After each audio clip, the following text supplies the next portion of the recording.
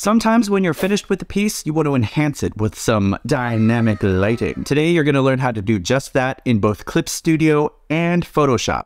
with gradient maps. Let's jump in. We've got this Akuma portrait that I painted in Procreate. It's not finished, but I think it's good enough for a demo. So the most common use for gradient maps is to colorize a black and white piece. One way to do that is with a gradient map. So let's go to layer, new correction layer. In Photoshop, these are called adjustment layers. This technique will work in both Photoshop and Clip Studio. I'll demonstrate it in Photoshop quicker at the end of this, but you'll get the idea. Go over to gradient map. Clip Studio comes with a lot of fun built-in gradient maps. The sky set gives you a nice base to work from. The left side represents all the darker tones that you're going to map a color to, and the right side represents all of the lighter colors that you're going to map a color to. So right now we have a black and white gradient. You can see it intensifies the grayscale of the piece. If I just double click on this sunset purple, you'll see what goes on. So as we go darker, we get more of the purple hues. As we get lighter, we get more of these orange and pinks. And if we want to refine this, we can of course plug in our own colors but we can also take these sliders and kind of manipulate them. If you want more brighter tones in your piece, you can take your brighter colors and slide them over to the left a little bit.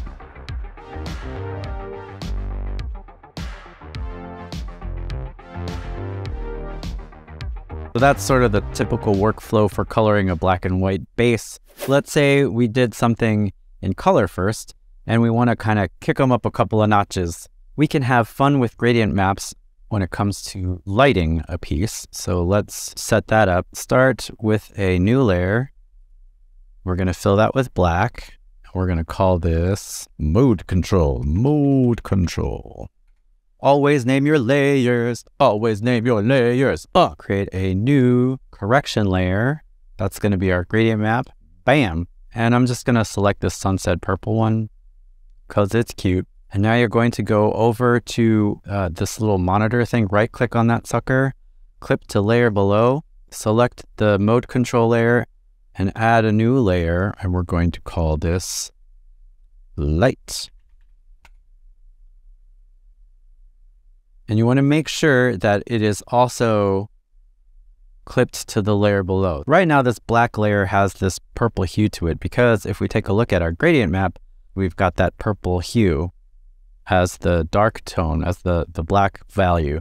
I'm just going to change that to straight up black so we don't have that purple tone going on. And now, if I paint lightly, the gradient map will show us the dark color, the dark purple. If I put a little bit more pressure in my stroke, then we're getting into the pinks and into the, the bright yellows. So that's not very helpful right now because this entire canvas is black, which is why we go down to our mode control select that layer.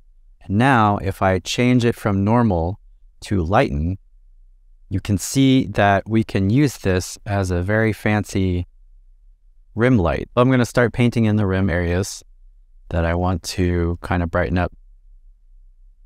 Sunset actually, this sunset gradient actually works well for Akuma because, you know, you always see him with that purple lightning around him. And uh, the more you stick with an area, the brighter it gets. If I want it to be really hot and orange, you could do that kind of thing. And if you want to tone it down a little bit, you can turn this into the eraser and then just kind of back it off a little bit. And then if you need more sharper details, you can just make your brush size really small and then outline that.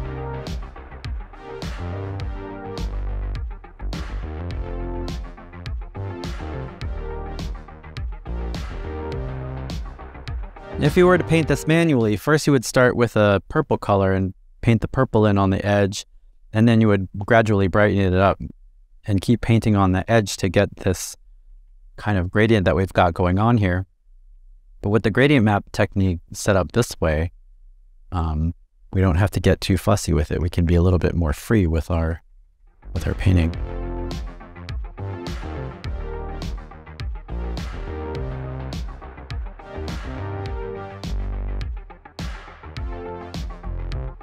You can change the gradient map to whatever you like. So if you want more of a, a fire effect going on, you can pick the sunset thing or the sunset gold.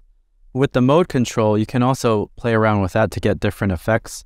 I found that lighten works the best, but you can also change it to something like screen.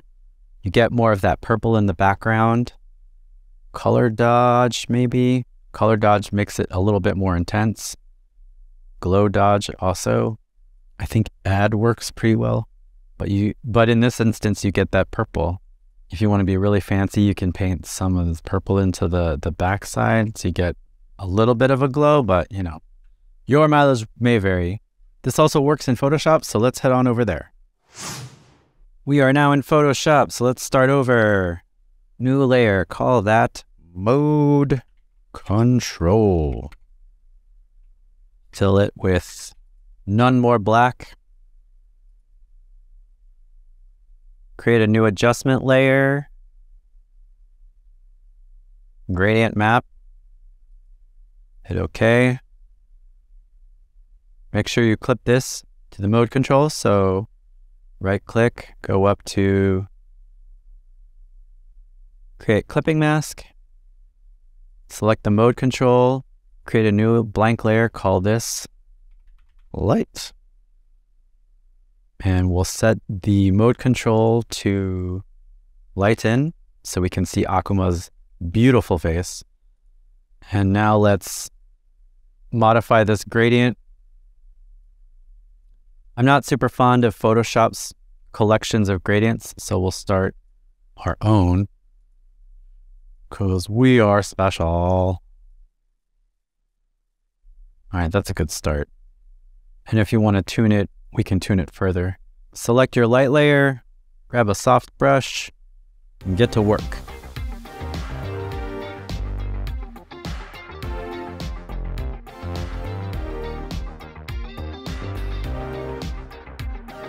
And there you have it. Let's zoom in a little bit so we can see Akuma in all his glory.